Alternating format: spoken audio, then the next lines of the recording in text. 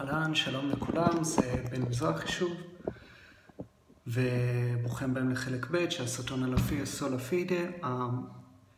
למי שלא צפה בחלק א' של הסרטון, אני ממליץ לחזור לצפות בחלק א', אני יודע שהוא מאוד ארוך, אבל למזלכם הוא כבר הספיק להכיל את כמעט כל מה שרציתי לדבר עליו, עד שנגמרה לסוללה.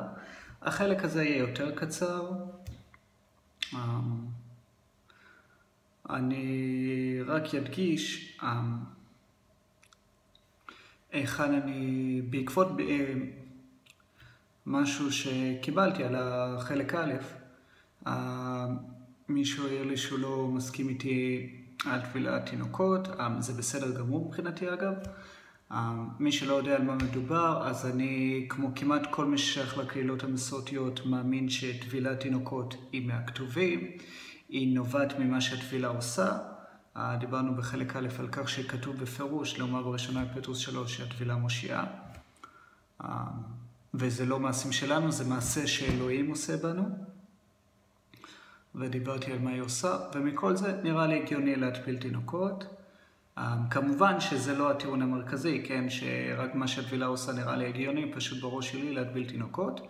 אלא אני מגיע לזה מעשה השליחים, שם הרבה פעמים כתוב על אנשים um, שהם נטבלו הם ובני ביתם. עכשיו ביוונית, um, המילה לבני הבית היא אויקוס, היא לא זהה לבני הבית כמו שחושבים היום, למרות שגם היום כמובן שבני הבית כוללים תינוקות, אבל זה לא זהה בדיוק, אם כי זה כן כלל תינוקות, זה כלל את ה... ראש הבית, בדרך כלל הגבר הכי זקן במשפחה, את כל הצאצאים שלו, הילדים והילדות שלו, את הנכדים והנכדות אם הוא מספיק מבוגר, ולרוב הוא היה מספיק מבוגר בשביל זה, את כל העבדים, לא את הנשים שלו ושל הילדים שלו, הם תמיד אנשים שייכות לאויקוס לבית של האבא שלהם. אבל בכל מקרה זה כלל, המונח הזה כלל בתוכו ילדים. מכאן הגיעה ההבנה שהייתה אוניברסלית, אחד מהדברים שהיחידים שהכנסייה הקדומה הסכימה עליה מקצה לקצה באופן חד משמעי זה על הרעיון של תפילת תינוקות. זה נובע מההסכמה החד משמעית שלהם שהתפילה מושיעה בהתאם לכתובים. אה, כמו שראינו בקצרה בחלק א', כשדיברתי על הטעות הקתולית והזכרתי שבין השאר הם ברוב הפרוטסטנטים עושים את אותה טעות שהם רואים בטבילה כמעשה שאנחנו עושים, ולכן טוענים שהנה הוכחה שצריך מעשים כדי להיוושע. אז לא, הטבילה היא מעשה של אלוהים, שבו אנחנו מתים וקמים לתחייה עם ישוע, ובעצם מקבלים את רוח הקודש. אמ, וזהו, בערך זה בקצרה, כי בגדול הנושא הזה מאוד מורכב, ורק לגביו אני צריך להקדיש סרטון שלם. מה שאני כרגע לא מעוניין לעשות. אמ, ו... אז בואו נמשיך, אז נשאר לנו קודם כל יעקב 2.24. אז למה בעצם הרבה אנשים המתנגדים לסולה פידה, לדוגמה קתולים ואורתודוקסים, או לדוגמה הרבה מתייעדים, טוענים, הולכים לפסוק הזה, אמונה ללא מעשים היא אמונה מתה. שאני אגב אומר עליו אמן, כן?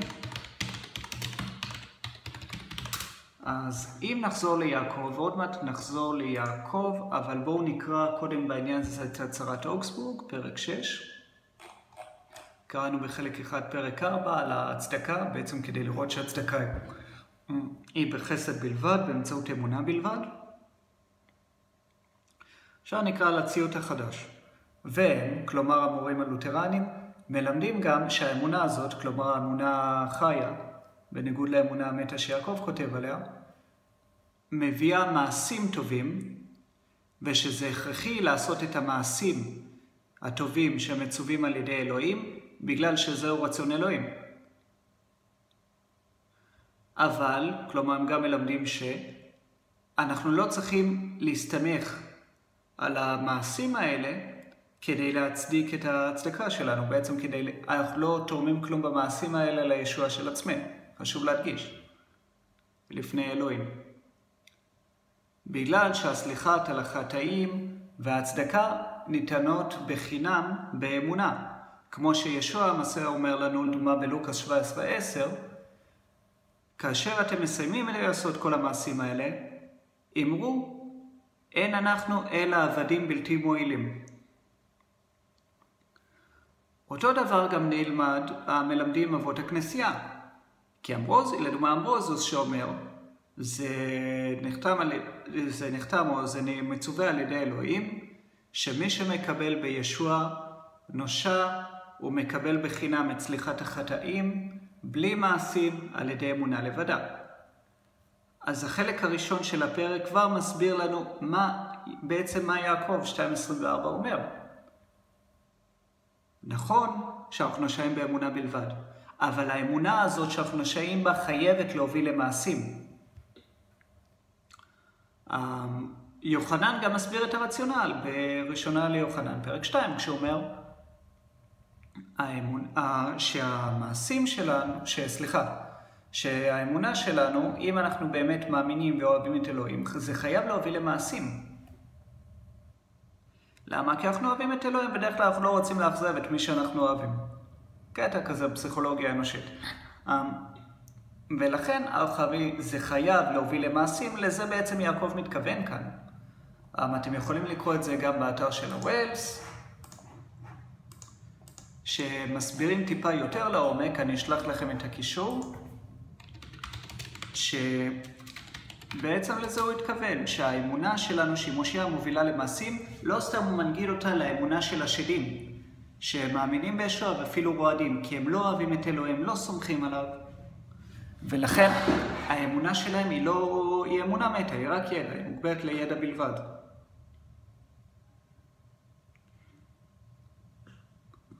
ועל כן, אז מה בעצם תפקיד המעשים, אם ככה? אז קודם כל אנחנו רואים הכתובים שוב ושוב ושוב, לדוגמה באל הרום 3.28, לדוגמה באל האפסים 2.8-9, שאנחנו נושעים רק באמצעות האמונה ולא באמצעות המעשים. אנחנו רואים את זה גם באל הרום 11 פסוק 6, אם זכור לי נכון. אנחנו רואים את זה על כל גל"טים. אנחנו נושם באמונה בלבד פלוס מעשים. הכתובים מדגישים את זה שוב ושוב ושוב ושוב ושוב ושוב ושוב.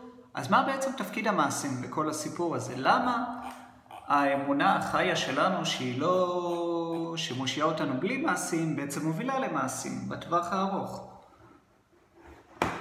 אז מלבד זה שהמעשים, אה, וגם על זה כתוב באתר של הווילס, אני אפנה אליו גם, עוד פעם, לחלק על המעשים.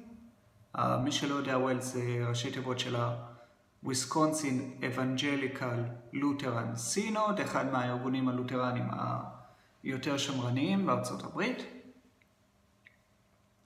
שיש לו פינת שאלות ותשובות לדעתי מאוד מועילה ומאוד מחכימה.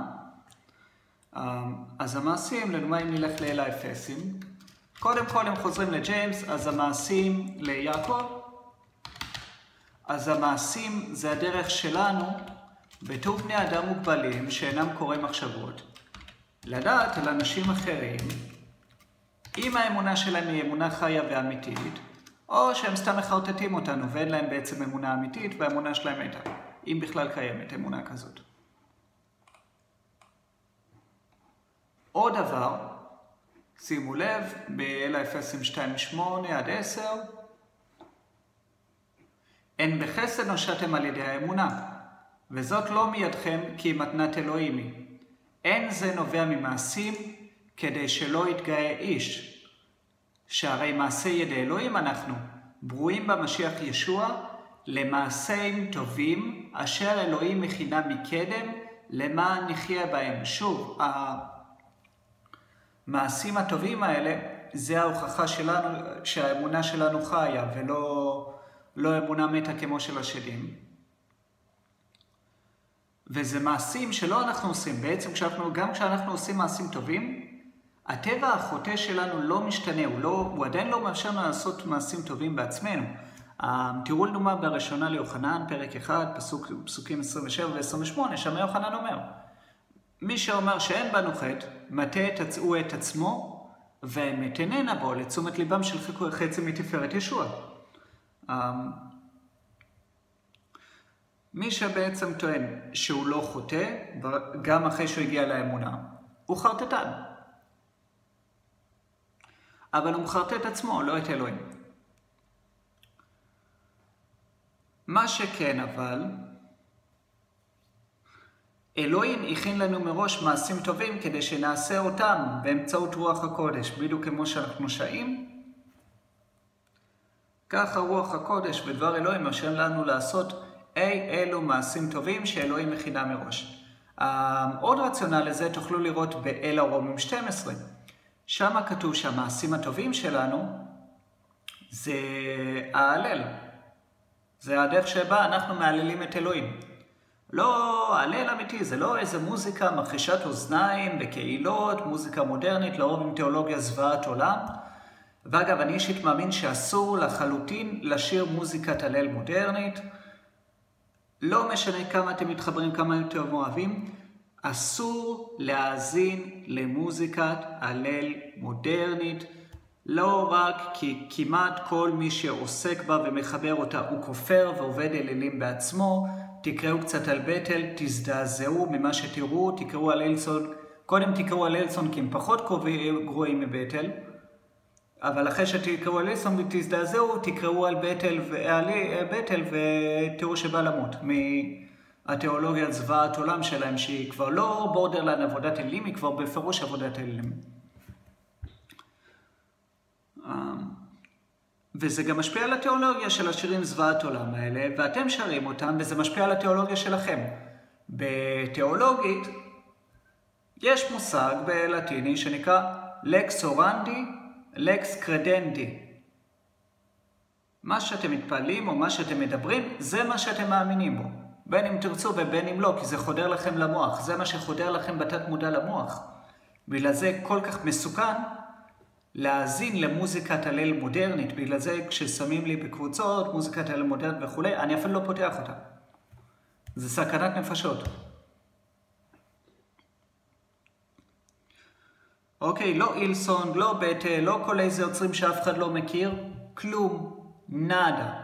אם אתם רוצים מוזיקה טובה, אז או תהילים, או מזמורים, או מימי הביניים, או מהמאה ה-16, שבדקתם אישית את התיאולוגיה שמכילים. אבל ההלל האמיתי, מה זה? זה בכלל לא מוזיקה, ההלל האמיתי זה המעשים שאנחנו עושים. Uh, עכשיו בדיוק היה לי דיון, ואחד מהחבר'ה שם, uh, נקרא לו א' ב' לצורך העניין, תודה לך א' ב', אמנם לא הסכים איתי בנושא הדיון עצמו, אממה, אני מודה לו על הפסוק הזה, כי הוא באמת גם כן מסביר את הנקודה הזאת יפה מאוד, כשישוע אומר לנו שאנחנו זה כמו מנורה. ומי שם את המנורה מתחת למיטה שלו? להפך, שמים אותה בחוץ, בשטח פתוח, במקום פתוח, כדי שהאור שלה יאיר לכל בני הבית. ויאיר לכל הסביבה. ואז ישוע חוזר, ומבאר את זה שזה המעשים שלנו, המעשים שדרך המעשים שלנו כולם רואים ומהללים את אלוהים, דרך המעשים הטובים שלנו, בשביל זה המעשים קיימים. וזה בעצם תפקיד המעשים, לא כדי להושיע אותנו. ועכשיו לחלק האחרון, אחרי שעברנו את כל זה, אני רוצה להגיע שנייה לפסוקים שהרבה קתולים אוהבים להביא כדי להגיד שהנה התנ"ך לא מלמד, הכתובים לא מלמדים אמונה בישוע בלבד. אמ, אני אכנס לאתר הקתולי בשם ה-Veritas שם מביאים את רשימת הפסוקים שאני מאמין שהיא לא ממצה, אבל ניכנס למרכזיים לפחות.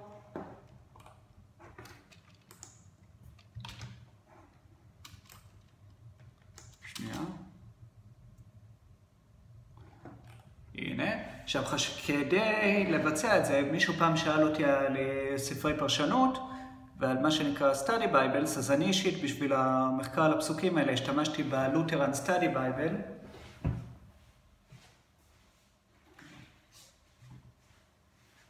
וזה, ידיד שלי הביא לי אותו לפני כמה שבועות כמתנה ליום ההולדת, ותאמינו לי, עד עכשיו לא מצאתי מתנת יום הולדת יותר שימושית.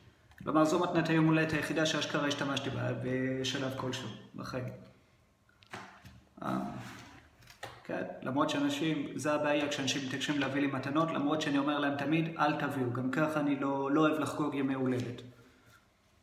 כמו שנאמר בקהלת, על ימי הולדת, טוב שמן שמן טוב ויום מותו מיום יוולדו.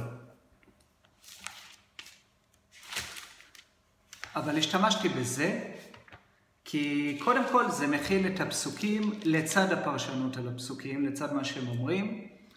אמ, למעשה אתם יכולים לראות, יש לכם את הכתובים עצמם בגרסת ה-ASV פה בחלק העליון, ולמטה יש את הפרשנות, בין לבין יש הקדמות על הספרים עצמם, על מושגים מרכזיים בכתובים, הרבה מאמרים מועילים וכולי. נתחיל. בראשונה לטימותאוס, חמש שמונה. אוקיי? האם בעצם בן אדם שנכשל, שנכשל לספק אנשים, דוחה את האמונה? אז אם נלך לראשונה לטימותאוס חמש עצמה, לזה אני לא צריך ספציפית, אני לא צריך שום Bible study. באופן כללי, אגב, כמה שנעזרתי בזה, אני מאמין שצריך להשתמש בדברים האלה כמוצא אחרון. גם ב Bible studies וגם בספרי פרשנות, לרוב תמיד עדיף לראות אם אתם יכולים לבדוק את זה בעצמכם מה הפירוש אומר, לפי הקונטקסט, לפי השפה וכולי, כי זה תרגיל מאוד טוב בפרשנות שאתם תעשו בעצמכם. דמיינו את עצמכם על אי בודד בלי ספרי פרשנות, מה הייתם עושים? יש מקרים שזה לא עובד, כי מה לעשות, מדובר בספרים שנכתבו לפני אלפיים שנים, אה, בשפה שהיא סך הכל שפה שרובנו לא מדברים אותה, יוונית, קוינה. אז לפעמים צריך, אם אין ברירה, אבל כשיש ברירה. ופה כתוב, אפילו לא צריך ללכת לקונטקסט, כתוב לכם בפסוק בראשון לטימותאוס 5-8 עצמו, ומי שלא... רגע, למה פתחתי את זה באנגלית? שנייה. אין לי דל לתרגם לכם, אבל בואו, חבל כשיש לנו את אליץ'. הראשונה לטימותאוס. אוקיי? הנה. ומי שאינו דואג לקרוביו, בעיקר לבני ביתו, כפר באמונה והוא גרוע כמי שלא מאמין. למה? כי בכתובים מודגש תמיד לכבד את ההורים, לדאוג לידי המשפחה. אם תחזרו לטימותאוס ולאפסים ולכל אלה תראו, שהאב הוא, ראש הבית, ולכן התפקיד שלו זה לדאוג לבני ביתו, בעיקר אגב מהבחינה הרוחנית. מה, לוודא שהם יודעים את הכתובים, לוודא שהם הולכים באמונה.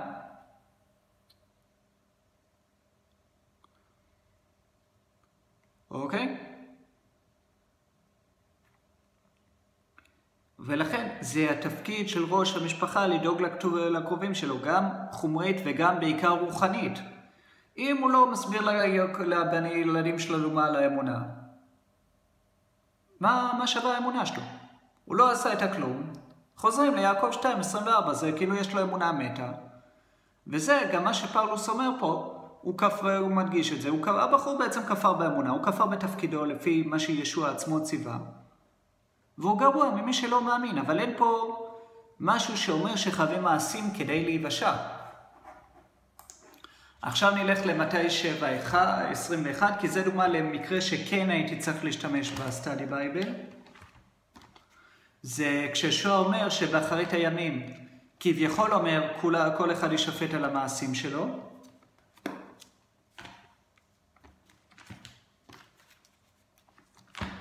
אוקיי, מתי 7, 21, יש לזה גם מקבילות בלוקאס 6, 46 עד 49. הנה, תודה לאל, הגעתי למתי. חלק מה שאני שונא בלהיות עם תנ"ך פיזי זה הרבה דפדוף, עד שמוצאים משהו.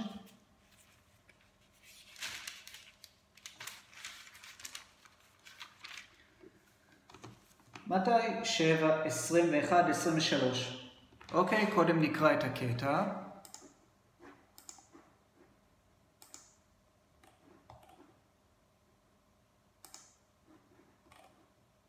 לא כל האומר לי אדוני אדוני ייכנס אלי מלכות השמיים, אלא עושה את רצון אבי שבשמיים. רבים יאמרו אליי ביום ההוא, אדוני אדוני, הלא בשמך ניבאנו, בשמך גירשנו שדים, בשמך עשינו נפלאות רבות. אז הודיע להם, מעולם לא הכרתי אתכם. סורו ממני עושי רשע.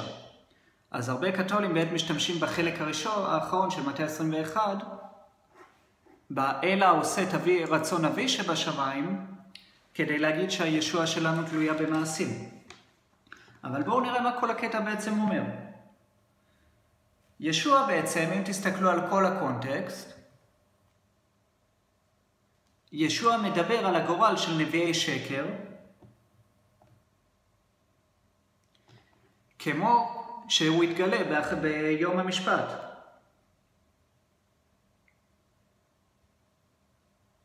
כן? ישוע בעצם מגנה את אלה שבמעשים שלהם, שמתגאים, שדורשים ומתגאים במעשים שלהם, ומצפים לאלוהים לקבל אותם לגן עדן על בסיס המעשים. כן. מצד שני, אם תלכו לדוגמה למטה 25, פסוקים 37-39, תראו שדווקא הרבה מאמינים שכן ייכנסו לגן עדן, יופתעו לשמוע שהם נכנסים לגן עדן. אמ, ושהם בעצם עשו מעשים טובים. זה גם עוד עניין בנוגע למעשים, גם כשאנחנו עושים מעשים טובים, הרבה פעמים אנחנו בכלל לא מודעים לזה שאנחנו עושים אותם. במטה 25, ישוע אומר להם, בואו תיכנסו לגן עדן כי קיבלתם אותי והאכלתם אותי כשבאתי אליכם, וקיבל, והאכלתם אותי כשהייתי רעב, והשקעתי אתכם כשהייתי צמא, והלבשתי אותי, אותי כשהייתי ערום, וביקרתם אותי כשהייתי בכלא. ואותם מאמינים יגידו לך, אדוני, מתי עשינו את כל זה? מתי ראינו אותך ערום והלבשנו אותך? מתי היית בכלא באנו לבקר אותך? כלומר, אפילו מודעים שהם עשו מעשים.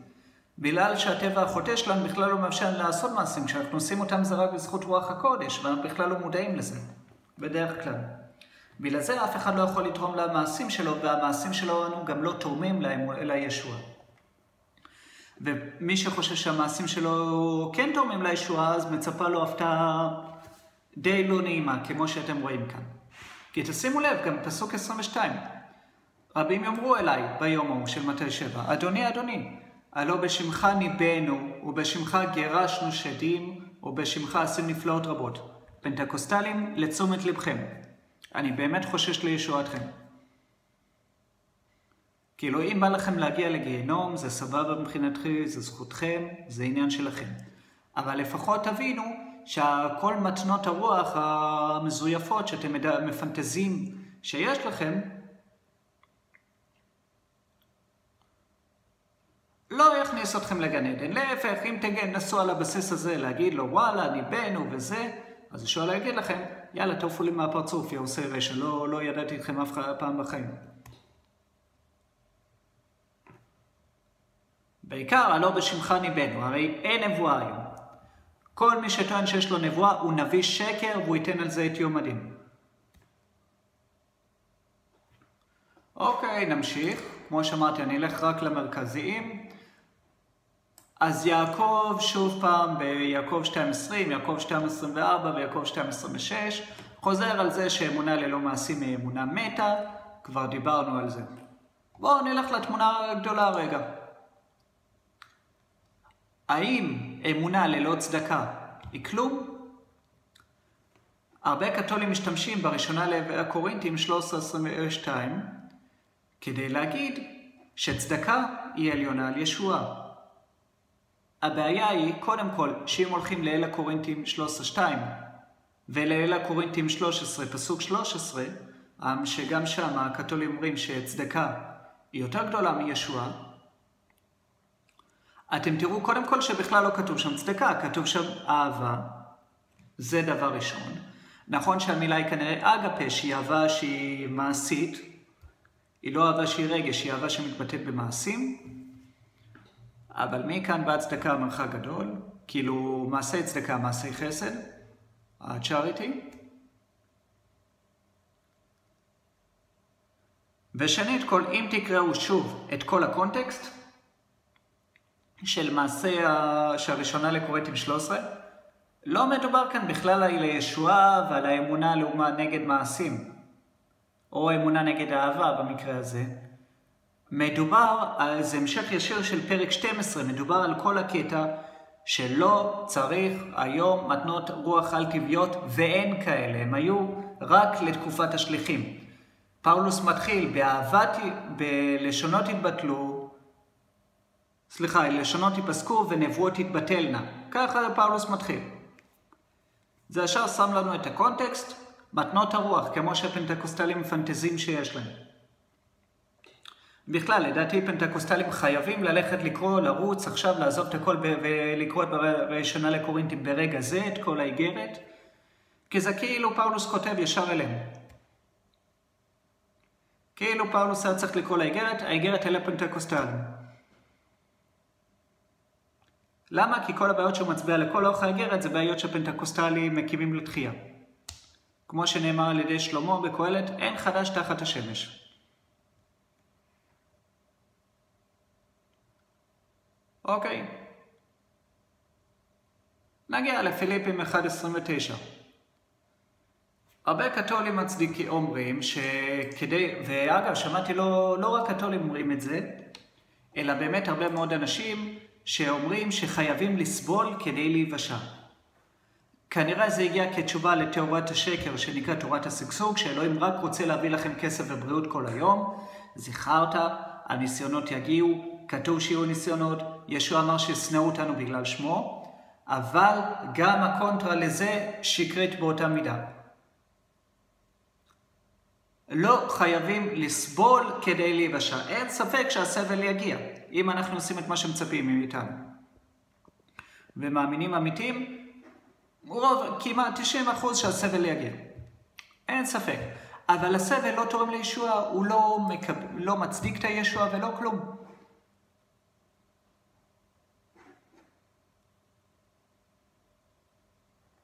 בואו נקרא. רק התנהגו כראוי לבשורת המשיח. למען אשמע עליכם, אם בבואי לראותכם ביותר רחוק מכם, אני מתחיל מפסוק 27, כי עומדים אתם ברוח אחת ונלחמים בלב אחד בעד אמונת הבשורה. ואינכם פוחדים כלל בפני המתנגדים, דבר אשר להם הוא אות לאבדון, ולכם אות לישוע. וזאת מאת האלוהים. אין לכם ניתן למען המשיח לא רק להאמין בו, אלא גם לסבול למענו, שהרי לכם אותו המאבק שבעבר ראיתם אותי נאבק בו, וכעת אתם שומעים כי אני נמצא בו. כלומר, הוא פשוט מתאר פה תרחיש סיבתי. אם אנחנו נלחמים על בשורת המשיח, ואנחנו מתנהגים כראוי לבשורת המשיח, כלומר יש לנו את המעשים הרעים לבשורת המשיח ואנחנו מבשרים את הבשורה ונלחמים בעדה, יבוא הסבל, גם ישוע אמר את זה, שישנאו אותנו למען שמו, כי כמו שהעולם שנא אותו. אבל אין פה שום דבר לישוע. פאולוס אמר פשוט שהסבל יגיע בגלל האמ... בעקבות האמונה, זה הכל. אין פה שום קשר לעניין הישוע. והקתולים אוהבים לעשות זה הרבה, להביא פסוקים לא קשורים בכלל לעניין הישוע, לעשות אותם, כי הם מדברים על עניין הישוע. למה? כי רק ככה אפשר לשלול את הרעיון שנושן באמצעות האמונה בלבד. עכשיו בואו נלך לפסוקים שדווקא פרוטסטנטים אוהבים להביא כדי להצדיק על ישועה בלבד, כי חלקם אני מאמין שהם פסוקים מאפנים לגמרי שאם משתמשים בהם כדי להצדיק את הישועה בלבד, הם מדברים על דברים אחרים. דוגמה מרקוס 5.36, כשפאולוס הולך לבת של יאיר, הגבאי, ומחיה אותה. אני מסכים שפסוק 36, שלא צריך לפחד, אלא רק כשהוא אומר לאנוכים בבית, אל תפחדו, רק תאמינו. אני מסכים שהוא לא מצדיק את הישוע בלבד, אלא אומר שצריך להאמין בניסים, ביכולת של אלוהים לחולל ניסים. מסכים לגמרי עם הקתולים בעניין הזה, רק מה, הפסוק גם לא, לא מה שהפסוק לא אומר, זה שאנחנו לא נושם בישוע בלבד, הוא פשוט מסביר כאן שצריך להאמין שאלוהים עושה ניסים. דבר שהוא הגיוני בכלל לעניין האמונה באלוהים. כלומר, אם אני מאמין בכוח על טבעי שברא את העולם, אני גם יכול להאמין, שהוא גם טבעי לי להאמין והגיוני להאמין, שהוא יכול להתערב בחוקי הטבע שהוא בעצמו ברא.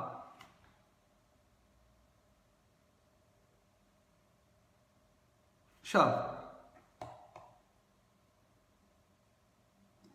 לוקאס 7, 5, בואו נלך ללוקאס 7, פסוק 50.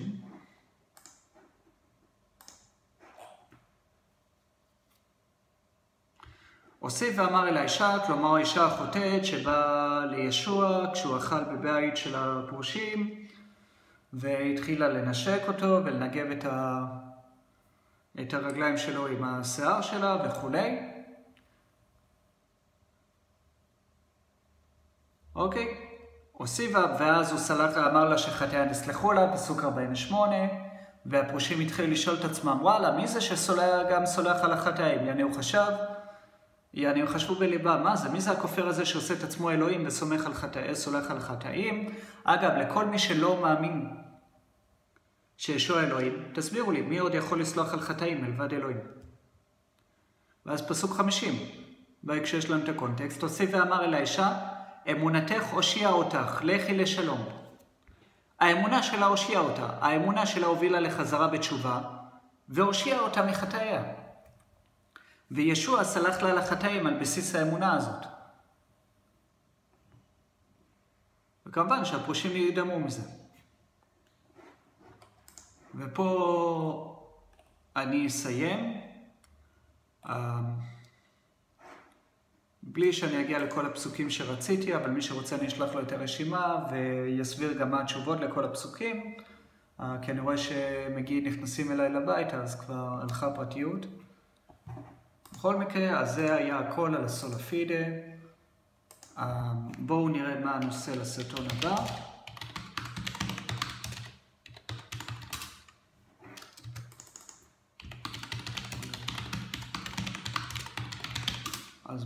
מה יהיה הנושא לסרטון הבא.